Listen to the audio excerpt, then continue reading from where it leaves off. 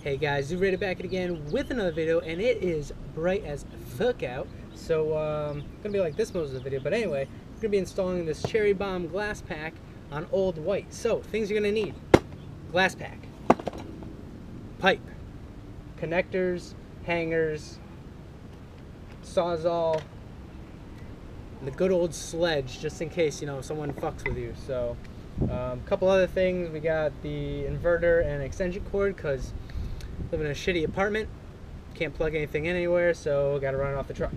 So first step, chop off your exhaust.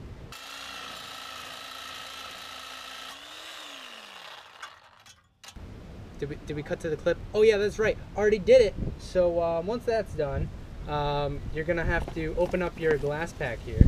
So this is gonna be going to where we cut off, and we have a three inch pipe on the truck. So we have a three inch to two and a half inch uh, coupler. So this is gonna go inside the glass pack. Then what we're gonna do is we're gonna take the other um, hanger, like a so, and then take our three inch pipe, go this way. For our hangers, you're gonna need two three inch and two two and a half, which I screwed up. We're rolling with it. So that fits there. Then what we're gonna do is we're gonna put our um, U-bolt over there, and then our um, other part of it. Yeah, I know the terminology. Sure, like a so, and then we're gonna tighten it down. Looks like a 10 mil for my knowledge. It's quality right there because that was a 15. So tell me I'm damn good at measuring, huh? We're gonna put the uh, U-bolt over, and this thing over here. Then we're gonna tighten the bolt.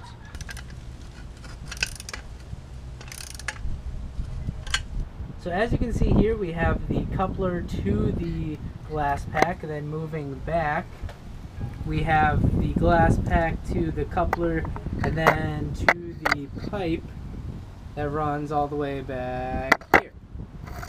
So then what we're going to do is eventually we're going to go from this pipe, and we're going to round it out to the east side of the uh, truck.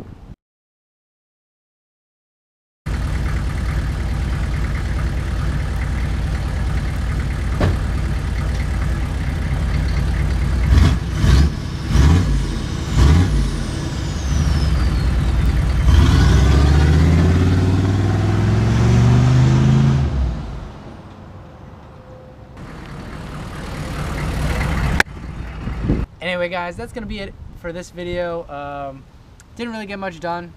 Put on a couple pieces of pipe, that's about it. Stay tuned for the next one where we uh, put on some more pipe. Probably going to be a while just because who cares. It's loud, proud, America. So, alright guys, we'll see you in the next one. Peace out.